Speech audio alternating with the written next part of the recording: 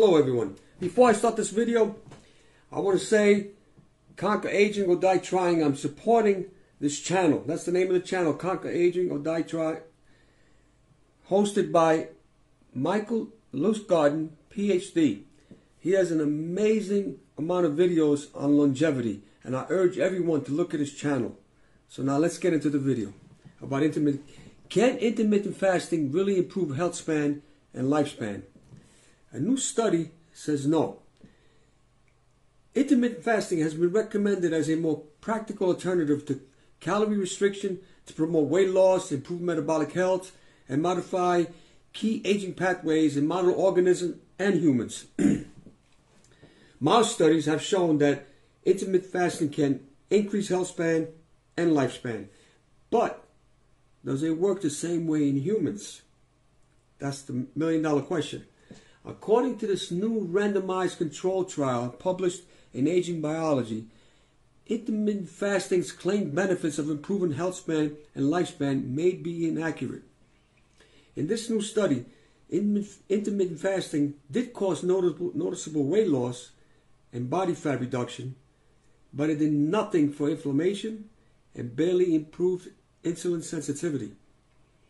The results show when we work in animal experiments cannot simply be applied to humans. That's the mistake a lot of people make. A day without food may strongly impact a mouse with its fast metabolism while having a weaker effect on a much larger human.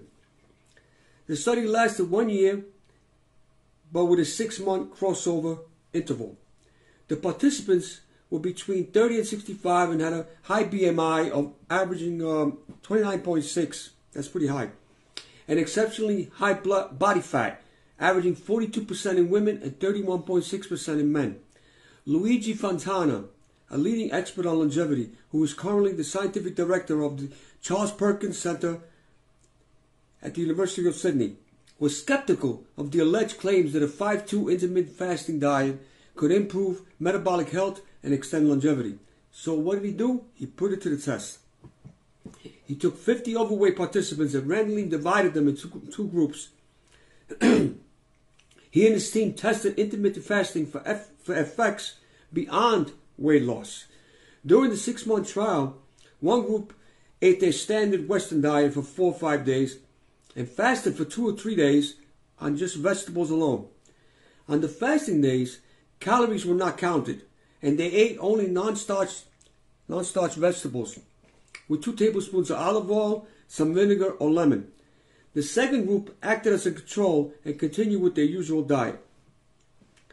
The researchers tested for critical markers of healthy aging, such as inflammation, insulin sensitivity, mTOR, and autophagy, autophagy activation. Let's talk about the results. What were the results? The results were as follows.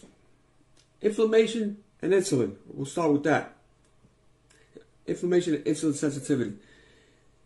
Intermittent fasting did not reduce C-reactive protein or any other circulating inflammatory markers, and it only caused minimal improvement in insulin sensitivity. These results were consistent with prior randomized control trials that showed no improvements in either markers of inflammation or insulin sensitivity.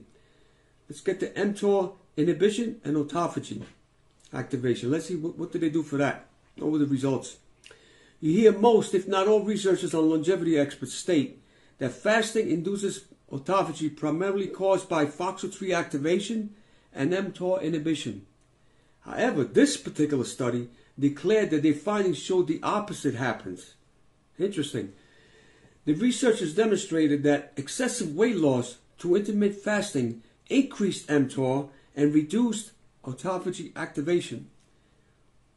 So, what exactly is my take on this study? Let me give you my opinion on this. This study experimented on the 5 to 5 days, 5 to intermittent fasting method. Eat what you want for 5 days and limit calories for the other two. The problem with this strategy is the eat what you want for 5 days part that I don't I, I don't like. Okay, if you eat like a glutton for 5 days and eat unhealthy junk food at that, it will not matter what you do the, the other two days. Okay? It simply will not reverse the damage you cause your body with the all-out eating for the previous five days.